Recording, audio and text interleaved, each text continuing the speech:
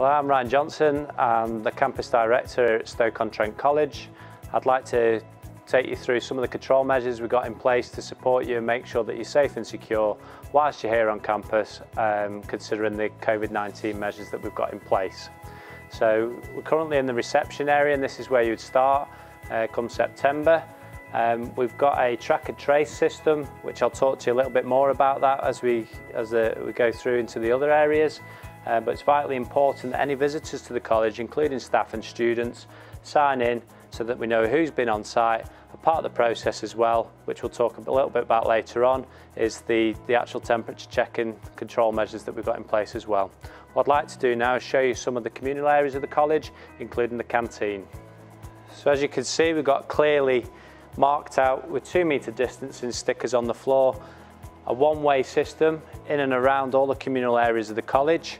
Um, so what I'd like to do now is walk you through that one-way system. But what I must say, it's vitally important that you maintain that two metre gap and also follow the one-way systems which are clearly identified using the arrows on the floor.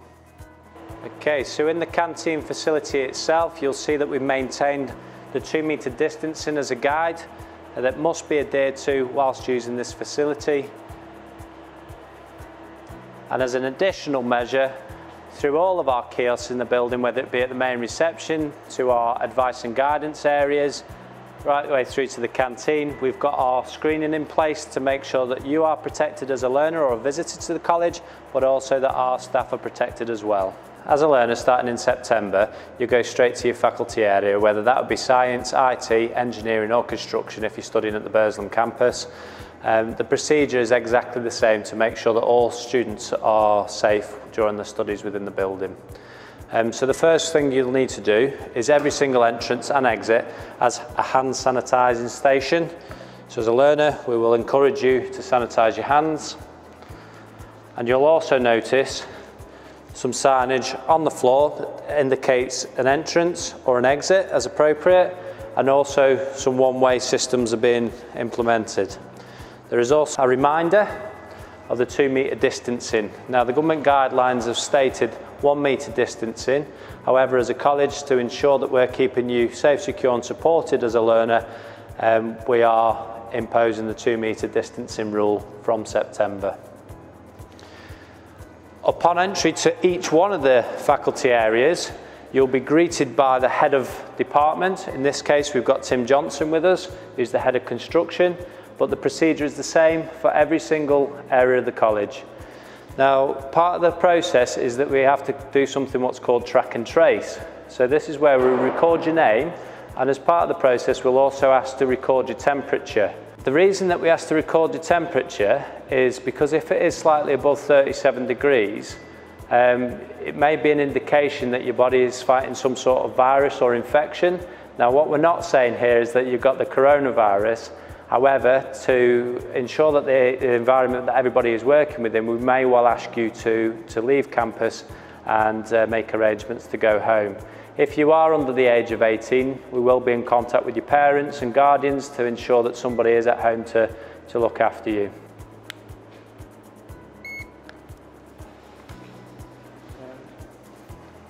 Okay, so the key thing that you should have noticed there is that I was stood side on to Tim and Tim is also wearing some PPE as a control measure to stop you contracting the virus. Staff also have to go through this process each and every day that they're on campus and they will report to the main reception areas of the college in order to support the track and trace process. What I'd like to do now is take you down into some of the workshop areas uh, where we can show you what we've done in terms of signage and also ensuring social distancing measures can be kept to. And it's vitally important that we stick to the one-way system. Okay, I'll take you down into the construction workshops now. You'll notice again, it's clearly signed, uh, no exits and also the one-way system that we've got uh, it's vitally important that you do adhere to those one-way systems at all times. As we walk into the workshop area, you'll see that the signage changes slightly and the text is saying two metre distancing. So these signs on the floor are exactly two metres apart, just to give you an idea of exactly what that distance is. Okay, so as you come into the workshop area, you'll notice that some of the areas are barriered off. That's to support the one-way system that we've got in place. So if you're a returning student and you're normally coming into this workshop and you're working within the plumbing and gas area, you'd normally turn right into the workshop. It's vitally important again, as I said before, that you follow the one-way system so you come into the workshop and into your designated areas. So we're currently in the Technology Hub, which is the home for the District Heat Academy. And also if you're studying engineering and automotive technology courses, uh, this is where you'll tend to be during the, the, the majority of the week.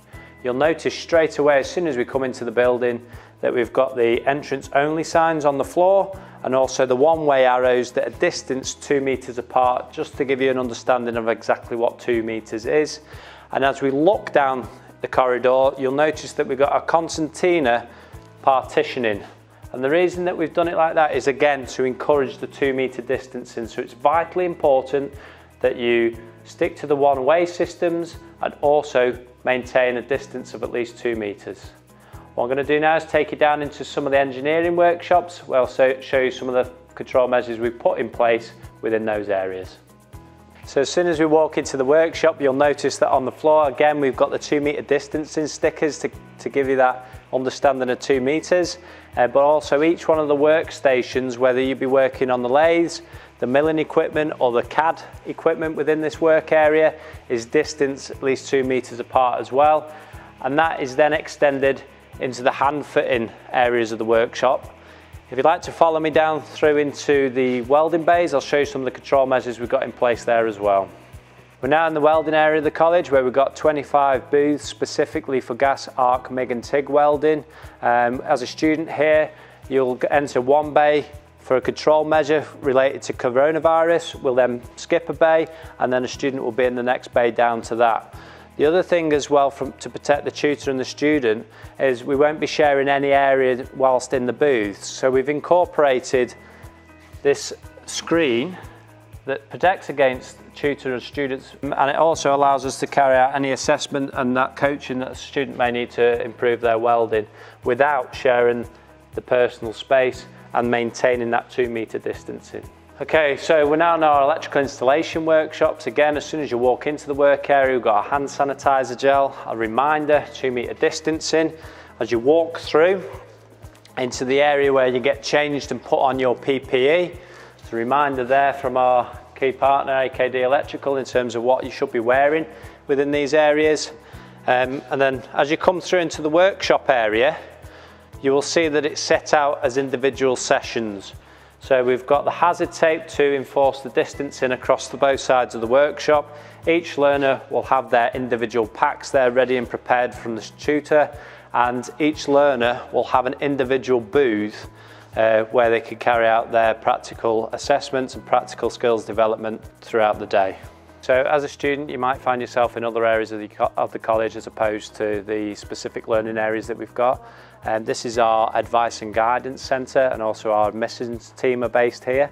As part of the control measures we've got in this area, again, as you walk into the area, you've got hand sanitisers, stations, and all of the staff um, have got the screening in place as well to protect yourself as a visitor or learner to the college, but also to ensure that our staffing team are safe as well. This is our Learning Resource Centre. It's a central focal point for learners carrying out studies at the college. So in and around session times, you may well find yourself using some of the resources that we have in here. Again, two metre distancing rules apply and to help us with that, we do have the two metre stickers on the floor. Each workstation has been or will be set out to enforce that two metre working. For learners that are studying science with us next year, this is one of three state-of-the-art science classrooms that we've got to complement the STEM offer that we've got at the Burslem campus.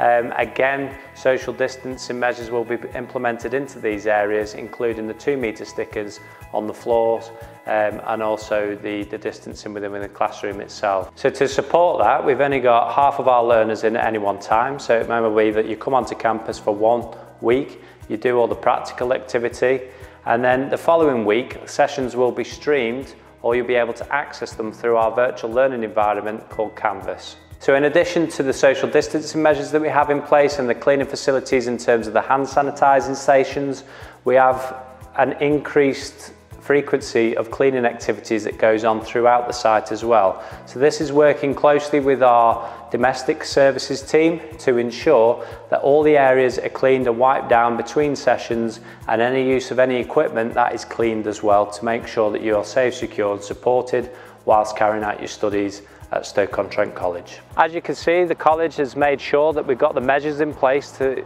support you to make sure that your safety is paramount during these uncertain times. And there is three things that I need you to do for us. That is ensure that you keep to the two metre distancing measures that we have in place.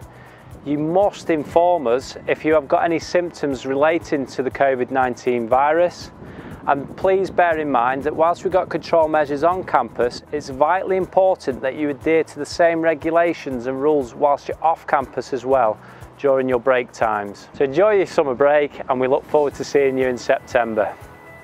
Been in college for a few weeks now and the social distancing rules haven't impacted my learning. In the classrooms I'm feeling safe because of the social distancing and then around the college and the community areas as well. Because my mum's got an illness and if she got corona then it'd be bad because she's on dialysis.